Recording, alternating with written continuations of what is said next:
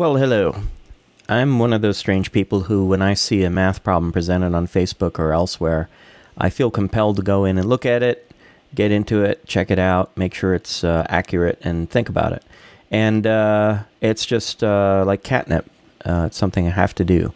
Um, yesterday, a friend of mine presented an interesting statement on Facebook, which is that Japanese kids learn multiplication at a very early age in a day in a way that's very different than the way we're taught in the West. And I really thought about this and discovered that, well, fundamentally, it's not really all that different. It's just presented in a in a different matter. To us, uh, what surprised me actually is is that to most people it looks like it's magic because we're so used to doing it one particular way. Uh, we all do it kind of the same way, lining up columns and multiplying out individual digits. This is actually doing the same exact operation, but it's doing it in graphics terms. Let's see how it works. Um, we in this example, for example, we have uh, two simple numbers, 13 times 12. And the 13 is broken into one red stroke and three blue strokes. The 12 is, is represented as one green stroke and two black strokes. And what the child does is look for the places in which the strokes cross, counting up the number of crossings. And then you also need to pay attention to the fact that um, this you know this three is is uh, three ones and this two is two ones but this is a ten and this is a ten.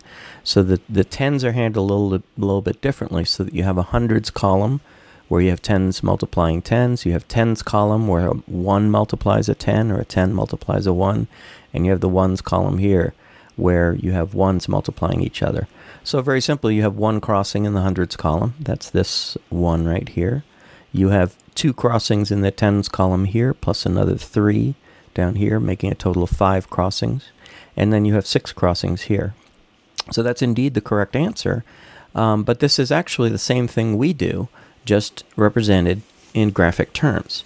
Um, what is nice is it exploits something which is multiplication can be think, uh, thought of as constructing a rectangular array. So 2 times 3 is represented as this 2 by three uh, box here, if you will. Um, and that's a very nice, very geometric way of representing multiplication. Um, what I think is understressed in the West is what the concept of multiplication is all about. You can think of it in terms of these rectangular arrays, and as we'll see, that's actually how kids are taught nowadays, uh, is to think in terms of um, an array, an array operation of some sort. Um, but let's look at the way uh, us Westerners would do it. This is the same exact problem um, represented uh, in a more traditional form. Um, you ha- what you do is you take the two and you multiply it out by each of the digits, and as you're going, you're adding up the separate components of those, uh, the separate contributions of those digits. So 2 times 3 becomes 6. There's no carry into the next column. So then you have 2 times 1 to make 2. Uh, you bring a 0 down because you're now working with a 10. Uh, 1 times 3 is 3. 1 times 1 is 1 and you add up the result and you get the same answer 156. Notice that there's a 1, a 2, a 3, and a 6 here in these uh, intermediate additions. That's the same 1, 2, 3, and 6 coming down here. Um, if you think about it in a slightly more expanded fashion, what you're really doing is you're taking each digit and multiplying it by the other and scaling it. So really you're taking 100 to represent the 1 times 1, 30 to represent 10 times 30, 20 to represent 2 times 10, and 6 to represent 2 times 3. So 100, 30, 20, and 6. That's exactly the same as the 100, the 30, the 20, and the 6 right here. So really the operation is exactly the same. It's, it's, it's identical. Uh, it's just being represented a different way. And again, the disadvantage of doing it this way is simply that you have to have the times table memorized, um, which is why it strikes me as amazing that people think this is somehow magic, that this works, when all it's doing is, is it's doing it in a um, geometric way rather than knowing the times table. So fundamentally, the thing that's not being taught is what the concept is that you're doing. This is the same thing. This is the same thing as this. It's just being done graphically versus having to pull out, you know, having to know like 9 times 9. The other thing is, though, the graphic mechanisms start to fall apart when you talk about larger problems. 12 and 13 are great, but you'll notice there weren't that many lines. Uh, in a more typical problem, you're going to have fives and sevens and eights and nines. I mean, you're going to have some fairly large digits resulting in a large number of nines. Then it becomes complicated because actually counting the crossings becomes tricky. And this was my first attempt, and, and it came out ugly because I kept having to extend, it kept getting bigger. I kept having to extend the lines uh, to accommodate what was happening.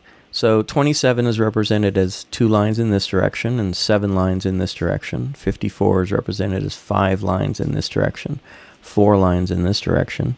And then I'm counting up the crossings so that there's 10 in the hundreds column, making a thousand. There's eight in the tens column up here. And then this is tricky. Uh, if you have to actually count these out, you, you can count out 35 crossings. But this is where it starts to get kind of error prone. A child might make a mistake. Also, a child might make the mistake of having to add up 8 plus 35 in the tens column to come up with 43, or really 430. Um, that's a place where uh, a pretty significant amount of error can occur. And then down here, you got 4 times 7 uh, in the ones column to make 28. You add all those things up together, you get the correct answer. But you can see that this is starting to get kind of daunting for what a very young child could do. There's almost a, an advantage, perhaps, in simplifying it so you don't have to actually count crossings. Um, so one of the things I thought of is is use the same approach where you're representing in a kind of a graphical way, multiplying out the digits. So for example, here, this is 20 times 50 to make a thousand, taking into account this is the hundreds column. Um, this is 20 times 4 to make 80. And this is 7 times 50 to make 350, taking into account these are both in the tens column. And then lastly, you have 7 times 4, 28. So that's multiplying out the individual digits to come up with the individual contributions. You add all of those terms up, 1000 plus 80 plus 350 plus 28, and you come up with the correct answer, which is 1458.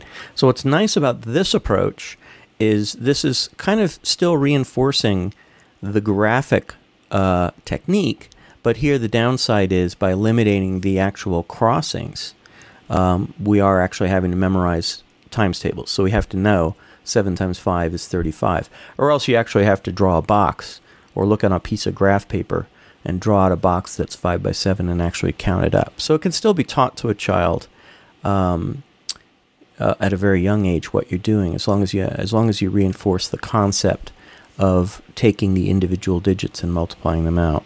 So then also I wanted to look at what happens if you deal with a larger problem.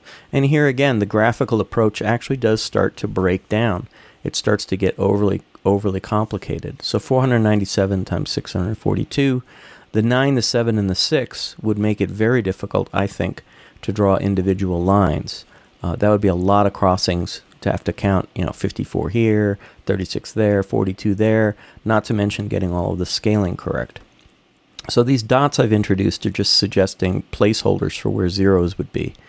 So this 4 times 642 is really 400 times 642, taking into account the zeros. And when you add up what each of these elements are, you'll see 240,000, 16,000, 800.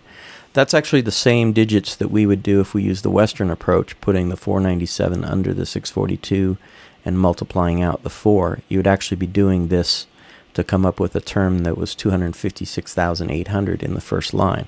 So really, the Western way you'd have three additions. This way you end up with nine additions. Seems like the Western way kind of wins, but actually, if you're working on an abacus, uh, this is this is actually the right way to do it. Abacuses can be used to add numbers up very quickly. So you're just looking at individual digits and doing four times six, 4 times 4, 4 times 2, 9 times 6, 9 times 4, 9 times 2, 7 times 6, 7 times 4, 7 times 2. So you're applying each of those individual multiplications very quickly and then adding the appropriately scaled uh, term in to come up with the answer 319,074. So I know I, am kind of going off topic by talking about abacuses, but actually dealing with nine separate additions is not a problem on an abacus because you can add things up so quickly on an abacus. But on pen and paper, writing out all of those things and adding it up, those nine individual terms starts to be a problem. You want to kind of reduce that down. Lastly, I mentioned this is identical to the way we do it in the West, and it truly is. I took a math book uh, that my niece happens to use. It's this math book called Investigations in Number, Data, and Space, uh, second edition.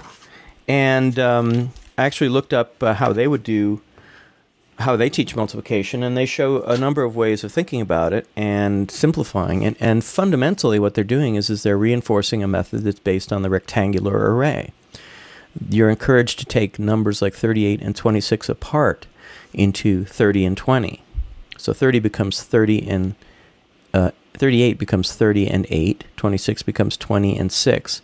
And now you're encouraged to think about rectangular arrays of those sizes and how much how many seats there would be in an auditorium filled, you know, with 30 by 20 um, seats. And this is actually exactly the same thing as this approach here. This is the, exactly the same. It's just being represented in a word fashion as opposed to a very simple graphic fashion. So there are advantages to representing it much more simply. But it's the same exact problem, and you end up with four separate contributions that you have to add up.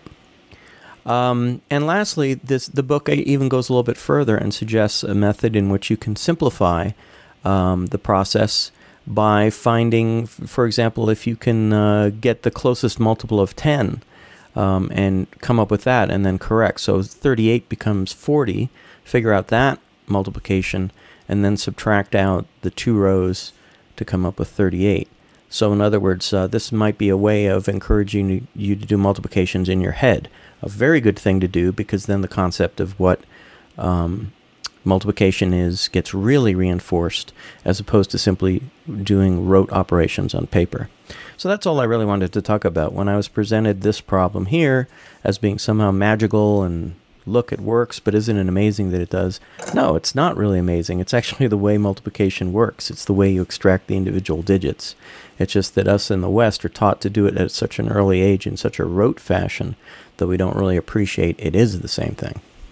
And lastly, I wanted to say these uh, images are copyright. Um, this image is uh, no doubt either copyright of Facebook or the original um, uh, artist who put this online. And uh, this is most definitely copyrighted by copyright 2008 by uh, Pearson Education Incorporated. Um, however, under U.S. law, I am claiming exemption from copyright infringement since I'm discussing these pages in an educational context. So, therefore, this discussion can be distributed in the United States without fear of copyright infringement. And I'm putting my discussion in the public domain so that it may be talked about or used in classrooms or whatever uh, for whatever use per, uh, without any copyright problems whatsoever. So, enjoy. I hope you enjoyed this math talk.